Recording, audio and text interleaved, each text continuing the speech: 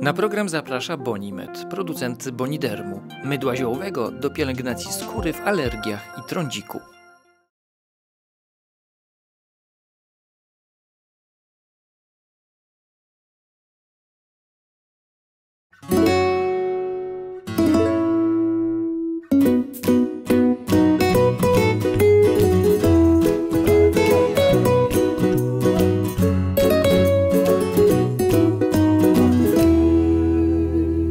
Dzień dobry, spłynęły kolejne pytania. Jedno z nich dotyczy łysienia androgennego. Otóż e, pan e, e, mówi, że ma już niezłe prześwity, jak to określił w pytaniu, że z boku e, włosy są dobrej gęstości, natomiast góra jest już nieźle zagrożona, ma prześwity.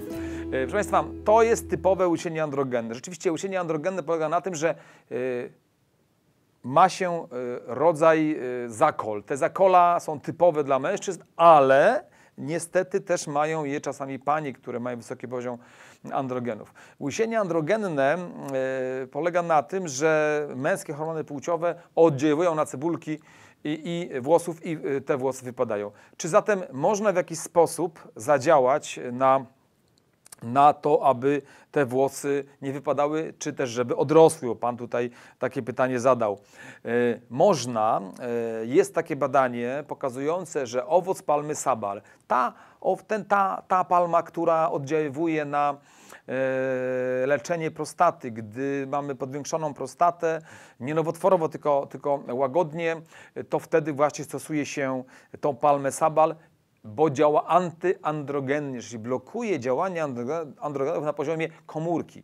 I taką samą, e, takie same ekstrakty z palmy sabal można zastosować w przypadku właśnie łysienia androgennego e, i mamy ten efekt, e, gdyż ja mam takie obserwacje zarówno u mężczyzn, jak i, jak i u pań.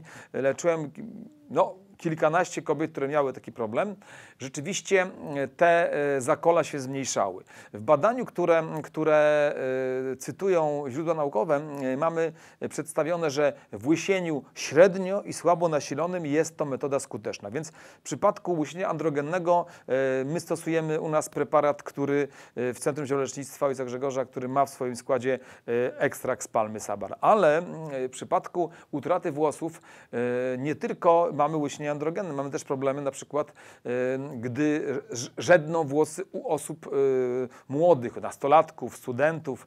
E, Czasami te włosy żedną także u osób starszych. Dlaczego tak się dzieje? Otóż w tym momencie musimy zastanowić się nad tym, czy te osoby się dobrze odżywiają, bo z niedożywienia również tracimy włosy.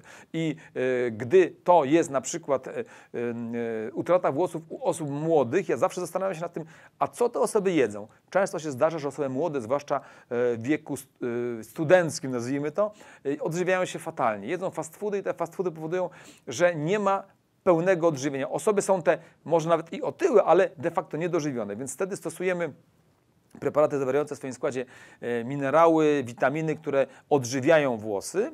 E, mamy taki preparat, e, który łączymy witaminy i minerały oraz ekstrakt ze skrzypu i pokrzywy. Także stosujemy w takim przypadku odwar, czyli gotowanie ziół. Mamy taką, stosuję taki preparat, gdzie jest w skład wchodzi skrzyp, ziele skrzypu, rodestu ptasiego, pokrzywy, owoc róży i to taką mieszankę ziołową się gotuje, nie parzy, podkreślam, tylko gotuje 20 minut. Wydobywa się wtedy z tej mieszanki krzem i ten krzem jest wielkim stymulatorem budowy włókien kolagenowych w naszym organizmie. Włókna kolagenowe tworzą e, włosy, ale także powodują, iż skóra staje się e, lepszej jakości. Po prostu zwyczajnie znikają zmarszczki. Także e, mamy tu dwie sytuacje. Pierwsza, łysienia androgennego i wtedy rzeczywiście trzeba stosować owoc palmy sabar, ale gdy ktoś jest niedożywiony, a to są często osoby młode albo starsze, które mają taką monodietę mało, mało urozmaiconą, wtedy u nich stosuje się również dodatkowo odżywienie organizmu witaminami, mikroelementami, a zwłaszcza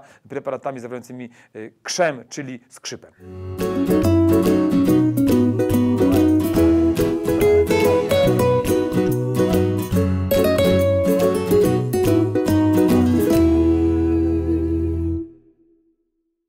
Sponsorem programu był Bonimed, producent Bonidermu, mydła ziołowego do pielęgnacji skóry w alergiach i trądziku.